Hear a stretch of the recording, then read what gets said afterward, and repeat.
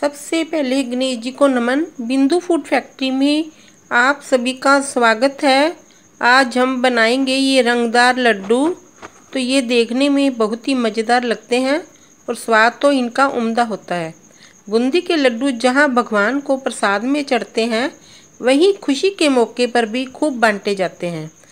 तो चलो देखते हैं बनाने का तरीका। ये हमने बेसन लिया, इसको छान लिया है।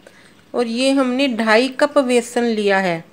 ग्राम के हिसाब से ये थ्री फिफ्टी ग्राम है। और अब इसको हम थोड़ा थोड़ा पानी डाल लेंगे और इसे घोलेंगे थोड़ा थोड़ा पानी डालते हुए मिलाते जाएँगे और एक बार ज़्यादा पानी नहीं डालेंगे एक तो बेसन में गाठे पड़ जाएगी। अगर हम ज़्यादा पानी का यूज़ करेंगे। दूसरा घोल ज़्यादा पतला हो जाएगा। बेसन भी हल्का मोटा होना चाहिए। अब जाएगी इसमें सूजी क्या है ना सूजी मिलाने से बूंदी जो है अच्छी तरह चाशनी को सोख लेती है। और लड्डू भी शानदार बनेंगे हमारे। ये बेसन का घोल हमारा हो चुका है। और सूजी हमने 50 ग्राम ली है। इसको भी अच्छे से मिक्स करते हुए पतला घोल बनाएँगे। बस इतना पतला घोल होना चाहिए कि छलनी से, आसानी से झड़ जाए। घोल हमारा तैयार है। अब इसे हम 15 मिनट के लिए ऐसे ही रख देंगे और 15 मिनट हो गए हैं। अब हम क्या करेंगे? बेसन के घोल को बाउल में शिफ्ट करेंगे। ये हमने दो बाउल ले लिए हैं। इनमें हम थोड़ा थोड़ा बेसन का घोल हमने डाल दिया है और अब इसमें जाएगा ग्रीन फ़ूड कलर और इसे मिक्स कर देंगे और रेड रेड फ़ूड कलर। इसको भी हमने अच्छे से मिला देना है। अब हम बनाएँगे चाशनी और उसके लिए अब जाएगी चीनी, पौने दो कप वाटर एक कप, और इसको अच्छे से मिक्स करेंगे। आप चाहे तो इसमें केवड़ा वाटर या गुलाब वाटर भी डाल सकते हैं, पर हम इसमें डाल देंगे इलायची फ्लेवर के लिए।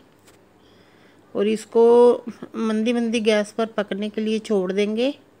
अब ये कढ़ाई में हमने शुद्ध घी को पका लिया है और इस पर अब हम देख ट्राई करेंगे एक बूंदी डालकर। ये देखो नीचे से ऊपर की ओर आ गई है। इसके मतलब घी हमारा तैयार है। अब इसमें हम उतारेंगे बूंदियाँ। उसके लिए हमने ये झर ले ली है बड़े बड़े छेद वाली।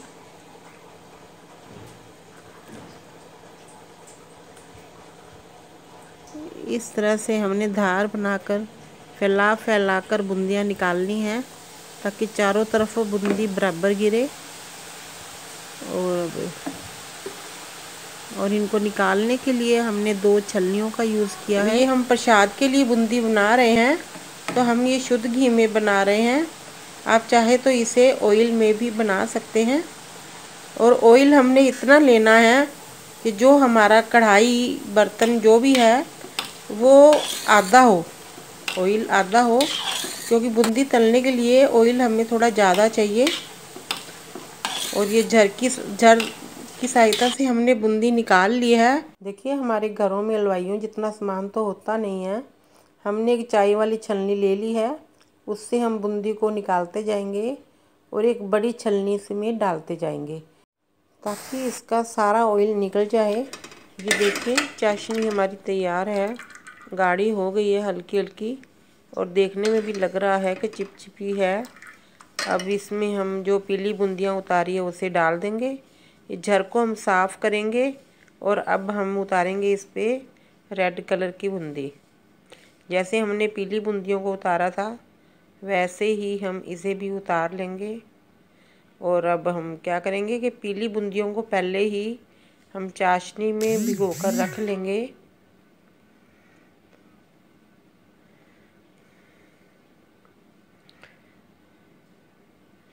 देखो, घी भी हमारा बिल्कुल भी नहीं है प्लेट पर निकल चुका है सारा। और इसे हम ढक के रख देंगे ताकि बूंदी आराम से चाशनी को सोख ले। और अब अब हम ऐड करेंगे खरबूजे की गिरी। इसका भी टेस्ट बहुत ही अच्छा आता है लड्डू में। और इसे अच्छे से मिक्स कर देंगे।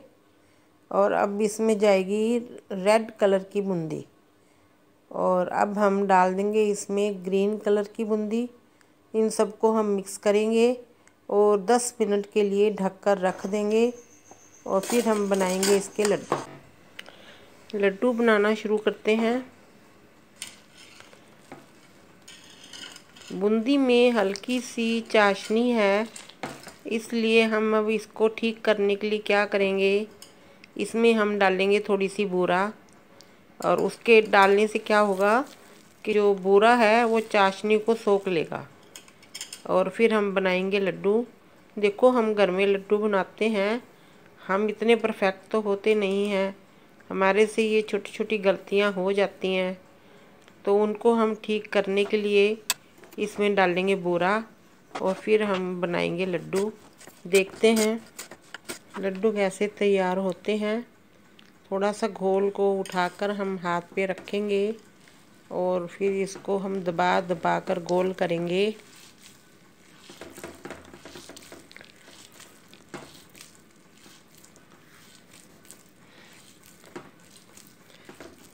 ये देखिए, बहुत ही अच्छा लड्डू बनकर तैयार हो गया है और आप भी ऐसे ही घर पे लड्डू बनाएँ, भगवान का भोग लगाएँ। और सबको खिलाएँ। अगर आपको ये रेसिपी अच्छी लगी हो तो आप लाइक करना शेयर करना। हमने इसको चांदी के बर्क से सजा दिया है। अब ये लड्डू हमारे भोग लगाने के लिए तैयार हैं। Thank you so much take care आप सभी को मेरा राम राम।